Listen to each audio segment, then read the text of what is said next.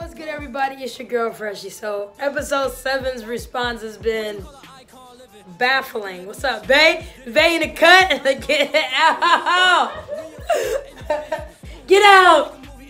Um, but you guys do not have to wait uh, for episodes eight and nine if you do not want to. Again, all of the episodes right now, except for the finale, are up on Vimeo. So, episode eight and nine, you guys can watch right now just by clicking on the link below for YouTube won't let me put it up here in the little card section. So just go down in the description right now. You can purchase it to watch it now, or you can just wait two weeks for it to come out later.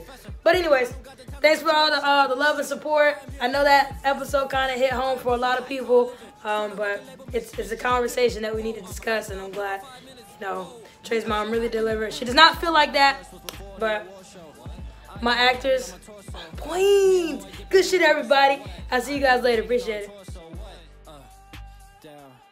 Last girl signed a divorce, so what? Now I'm focusing, we about to all blow up. We just trying to make the whole crowd go.